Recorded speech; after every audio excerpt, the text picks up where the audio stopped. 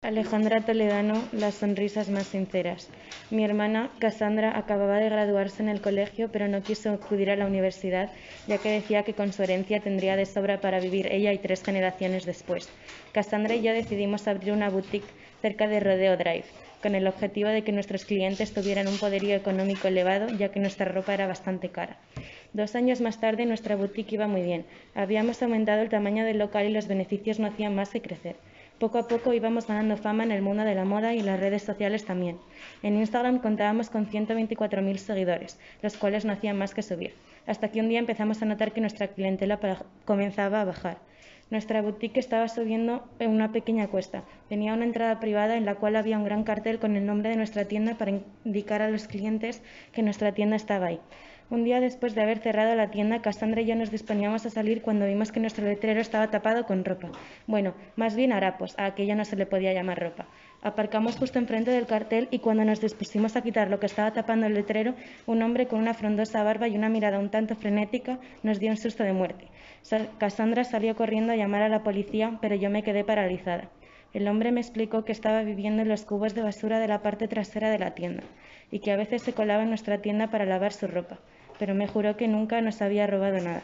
Empezó a quitar la ropa del letrero de la tienda y me di cuenta de que no estaba limpia. Debió de notar que arqueé la ceja porque me dijo que ayer no estaba utilizando la lavadora ya que estaba estropeada para lavar lo que creo que eran unos pantalones. Poco después volvió Cassandra, acompañada de policías, los cuales hablaron con el mendigo y le explicaron que era propiedad privada y que no podía dormir ahí. El hombre asintió y se puso a recoger sus pocas pertenencias, metiéndolas en una bolsa de basura. Los policías se marcharon en cuanto el mendigo terminó de recoger sus cosas.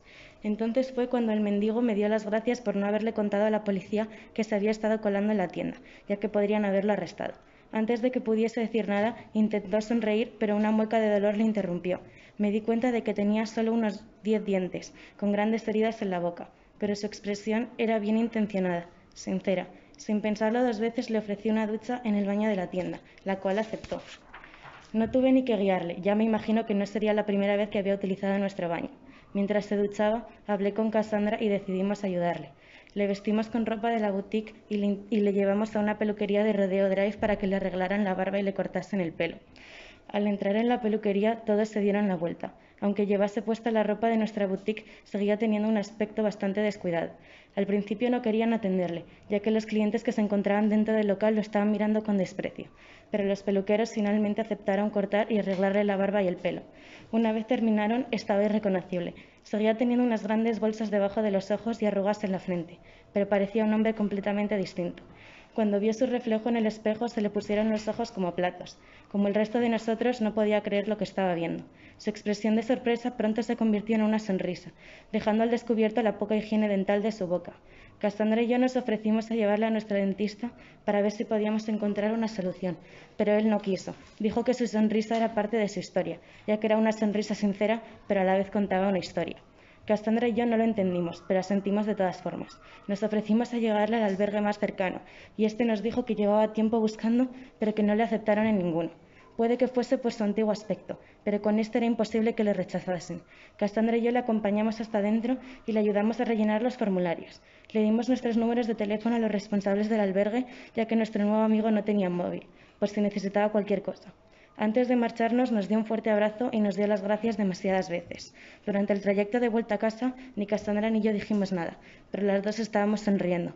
Poco después decidimos destinar un porcentaje de las ganancias de la boutique a una ONG que ayudaba a las personas sin hogar.